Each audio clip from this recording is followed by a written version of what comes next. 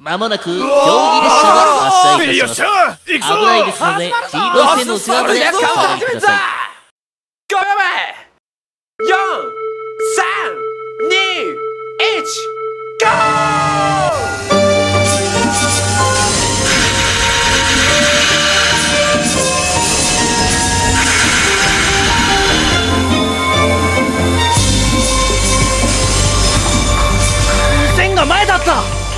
頭半分抜け出した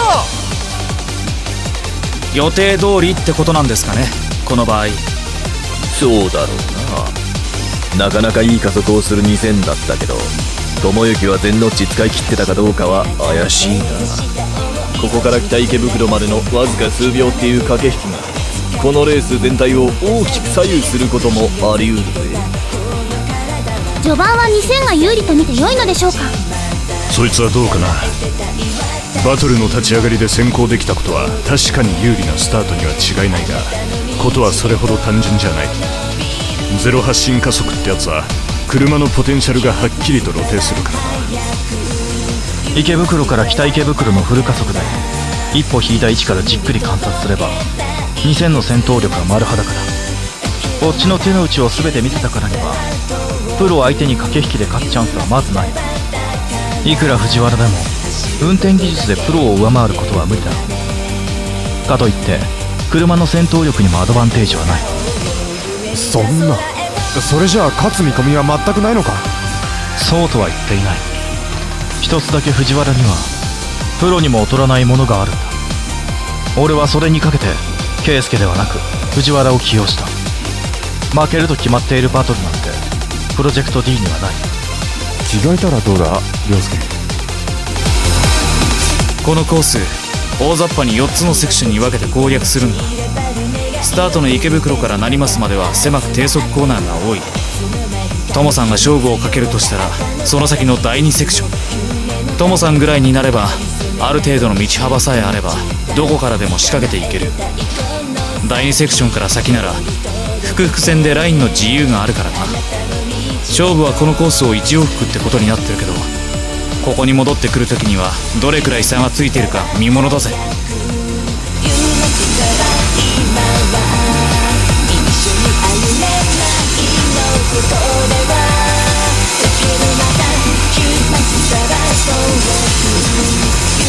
見通しが悪く狭かった区間がここから急に変わる。有楽町線と副都心線が乗り入れる和光市から福々線の第2セクション。よく整備してある区間だけにセッティングの影響が出やすい。かなりパワーは出てるようだ。2000の古いサスペンションでどこまで踏ん張れるか。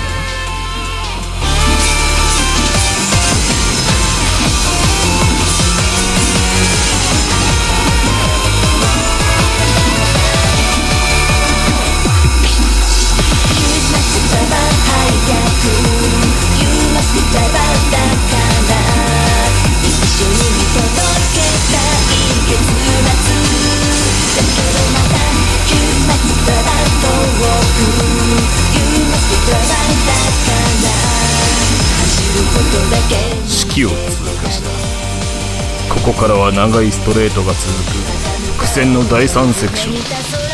どの辺まで付き合うかこの2戦そんなに長くは付き合えない。こっちもプロとしての対面ってやつがあるからな。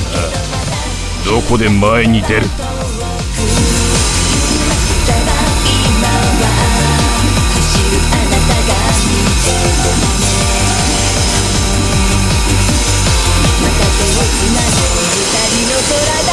どこが違うかわかるか。お前らの走りと友の走り。プロだからって特別な操作があるわけじゃないですからね。基本的にやってることは俺らと同じなんだけど。一連の動作の中から無駄な部分を削ぎ落としていく精度が違うんでしょうね。どうすればあんなになれるのか。想像もつかないよな。トモさんはやっぱ別格ですよ。あれは天性の才能だから。アホそんなもんじゃねえ速さってやつはぶっちゃけた話経験の差で決まるんだ。ラップタイムの短縮を常に念頭に入れて走る。プロの時間感覚のシビアさはどんな練習をしたところで走り屋レベルが到底たどり着けるもんじゃねえ。走り込みの量も質もまるで違う。ドライビングに才能なんてものがあるとすればそれはないやつよりも少しだけ上達する時間が少なく済むって程度のもんだ。努力の積み重ねをひっくり返してしまうほどの天性なんてありえない。少なくとも俺は一度もそんなものを見たことはない。わかるか大だ勝ち負けは経験の差だ。お前らが負けた理由がそれなら友が絶対負けない理由もそれだ。覚えておけよ。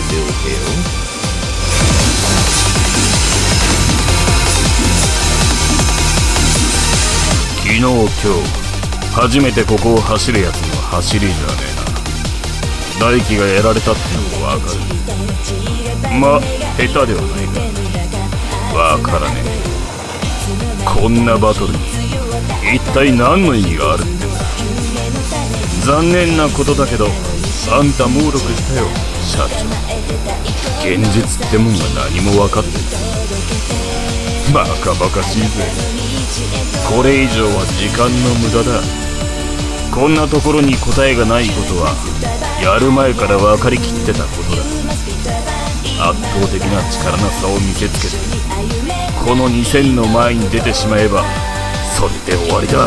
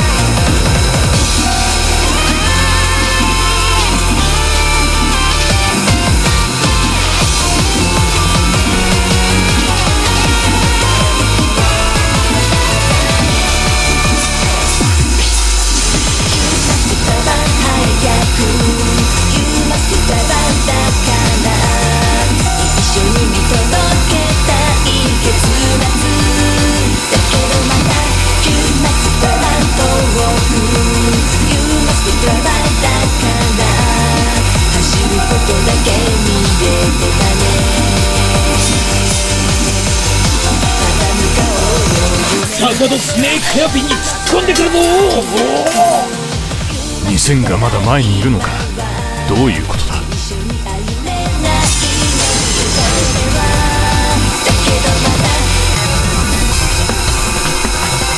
まった。こんなとこで？おっと！坂戸で2000が DRC にあっさりと抜かれた。須藤さんこれは一体？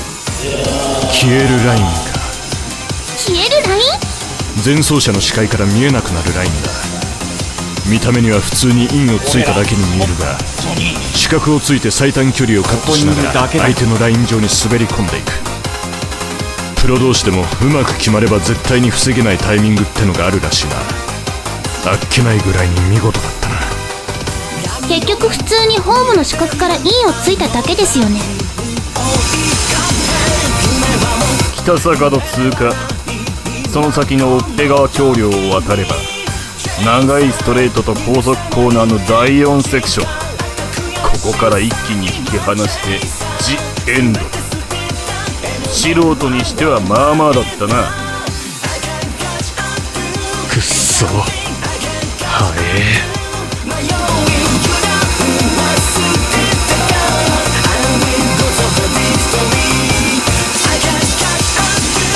この橋を渡れば最後の高速区間。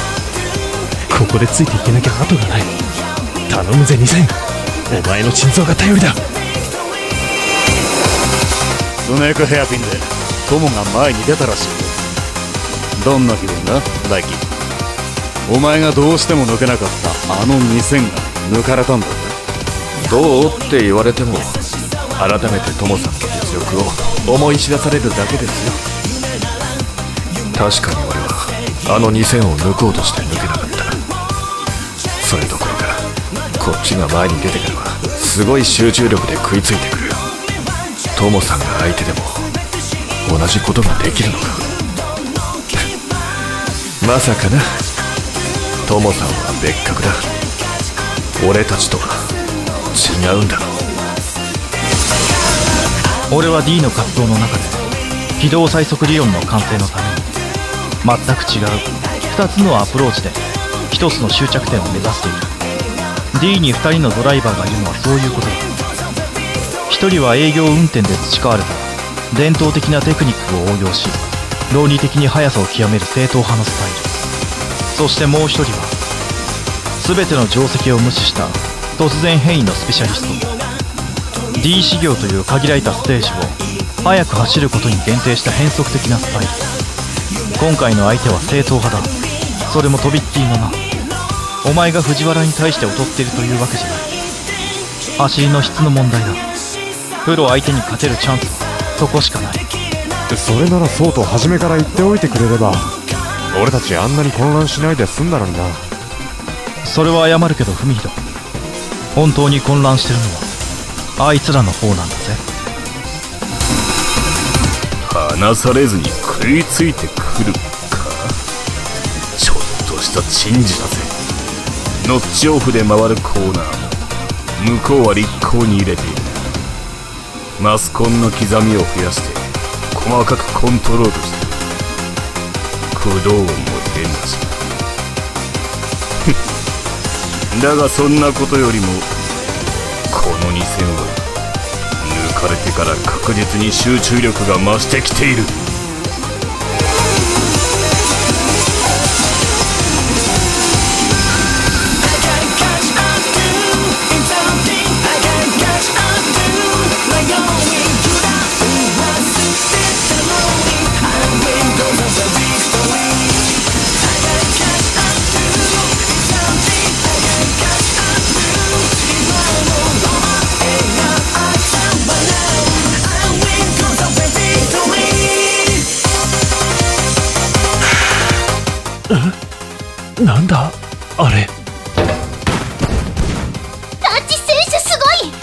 ここに来てようやくコスチュームの意味が見出せた。ただの手落ちにならず安心しました。河川の心配をしてやれよ。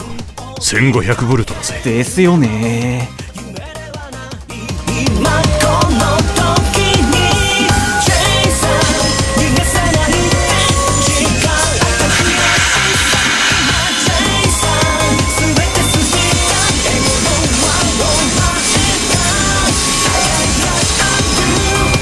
涼介教えてくれよ。わざわざ藤原をおぶってどんなアドバイスをしたのか。アドバイスはしていない。え？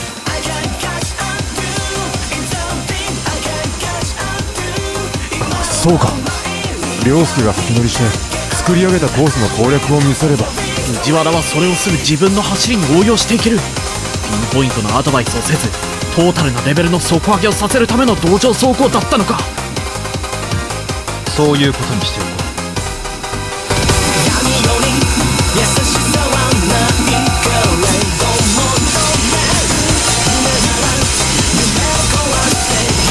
うよくついてくるもんだ。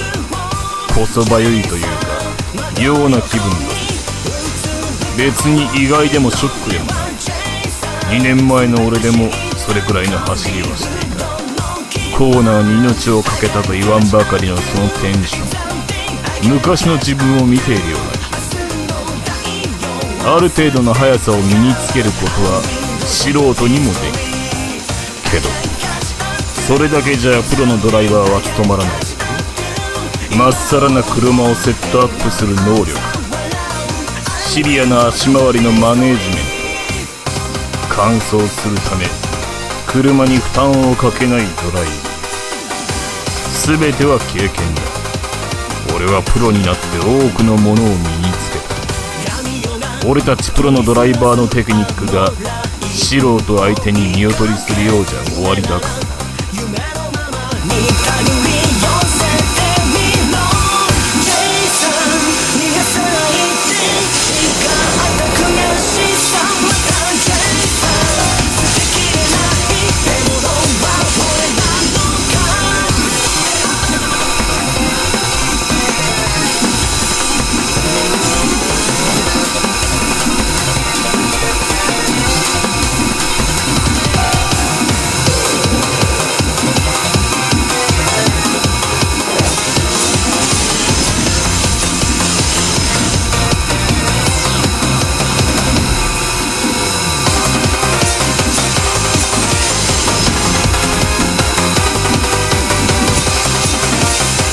とてもじゃないけど飛び込めそうにない。この人には俺の動きは手に取るように見えてるんだ。絶対にスペースを空けてもらえない。どうする？見えなければいいんだ。さっき俺がやられた時みたいに相手の視界から消えれば一つ思いついた方法があるんだ。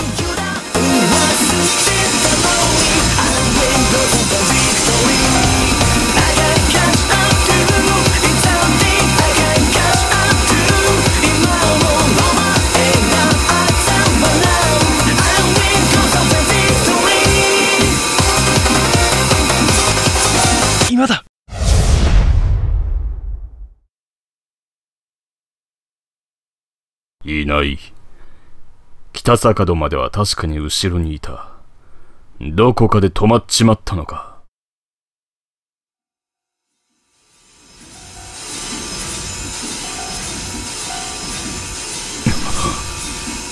これは俺の DRC の音じゃない。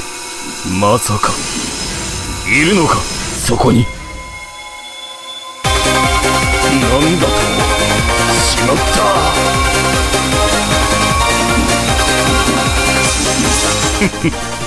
この真っ暗な軌道を全消灯を消して追ってくるとは。やられたぜ。さすがにこんなのは見たことも聞いたこともない。ついさっき俺がやってみせた消えるラインの応用のつもりなのか。D 仕様でしか使えない奇想天外な忍者戦法だ。社長が俺に何を見せたか。だんだん分かってる。からは遠慮しねえぜ。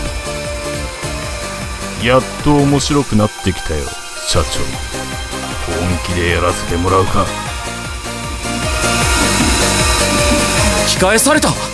トモさんが？なんだと？笑いごっちゃないでしょ社長。そう目くじら立てて騒ぎなさんな。ある程度は予想したがまさかこれほどの2000とはな8200を想定して車に色々手を入れたことが逆効果だったらしいや。頭のいいのがいるな向こうには。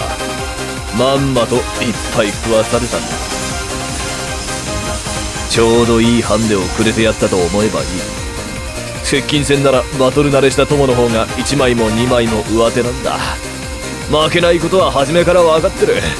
友のやつも今頃は多分喜んでるぜ。どこでも行けるが早めに仕掛けて鼻っ柱をへし折っておくか。よく見ておけこんなパッシングもあるってことをな。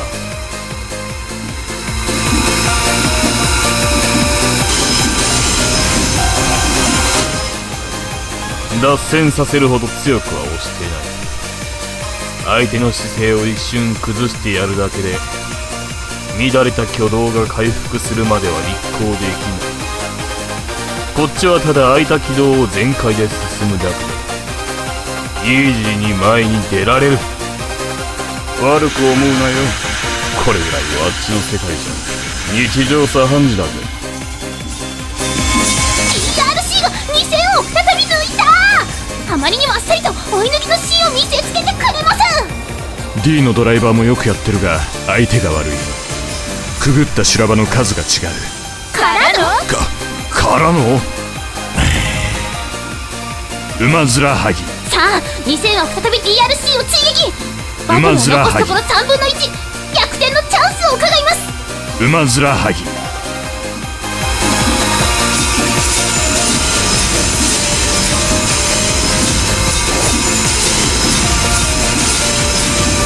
川越市を過ぎればその先は東上線最高速区間ここではこっちの方が速いのは下りで確認済みだ。俺が前にいればはっきりと差がる。そっちの車の戦闘力は100%把握してるんだ。友よ。万が一を考えて奥の手を用意した。こいつを使えばどんな不利な状況でも100%逆転できる。しかしだ。いいか？何があっても絶対に押すんじゃないぞ。絶対に押すなよ。これでこいつを使わずに済むぜ。すっげえ嫌な予感がするし。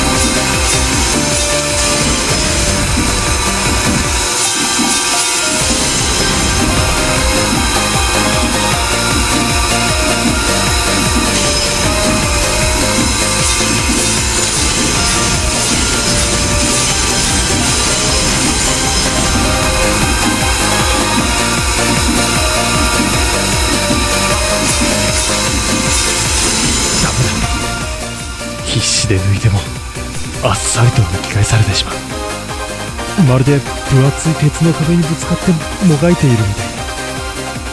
な嫌な手応えだぜ。ふくふく戦区間がもうじき終わる。ここで離されたら絶対二度とチャンスはない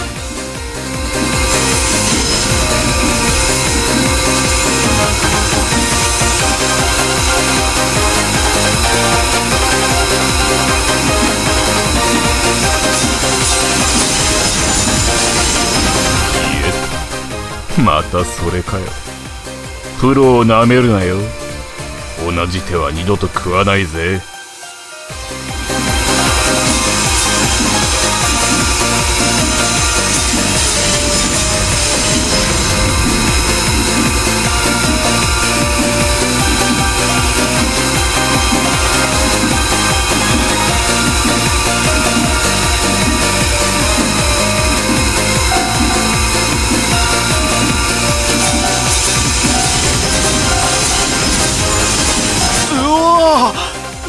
ー2000がついてこねえぞ。あれ？うわびっくりした。なんだありゃ。2000が全勝灯を消して走ってやがる。い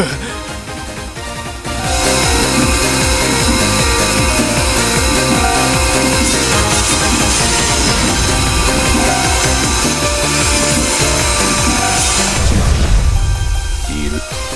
ついてきてる。こっちからは全く見えないが確実に後ろにいる。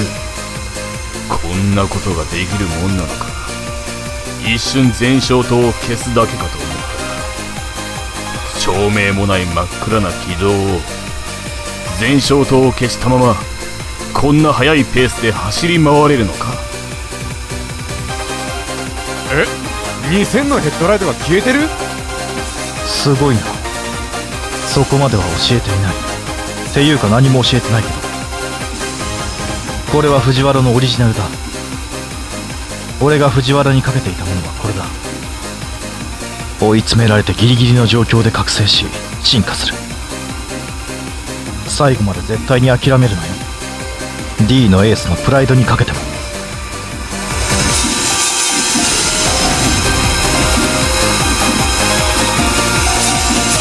参った。ここまでやられちゃあな。マジでたまげてるぜ。すげえよお前は。だが狭いこのセクションに入ってしまえばもう追い抜きのポイントはないんだ。勝つのは俺だぜ。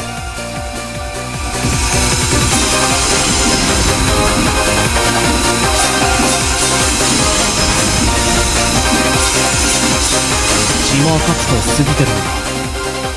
スタート直後とゴール直前のあのタイトな区間に入ってしまえば追い抜きは厳しいな。改めてすげえと思ったよ。うちのダウンヒルのエース。プロジェクト D 結成以来初めての敗北ってことになっちまうけど。負けても胸を張れる。中身の濃いいっぱいだよ。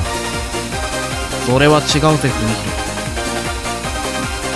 弘藤原の諦めの悪さは俺が一番よく知ってるここまで来て勝負を投げ出すようなやつなら兄貴が D のドライバーに選ぶものか。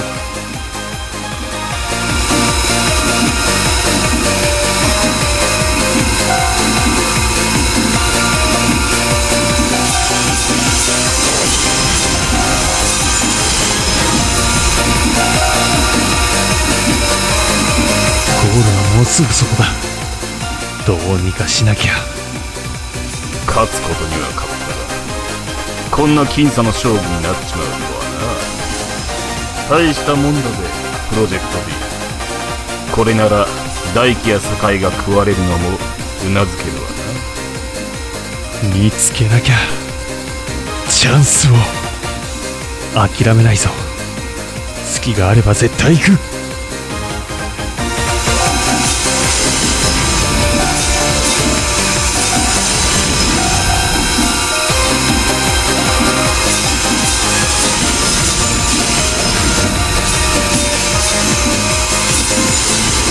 勝てるレースを絶対に落とさないことは俺たちプロの鉄則だ。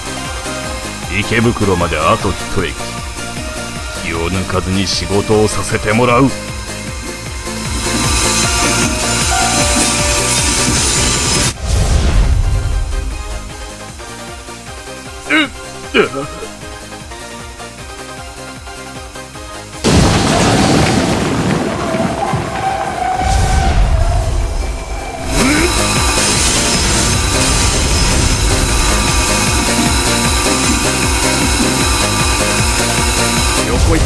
で並んできますよまだ減速してません。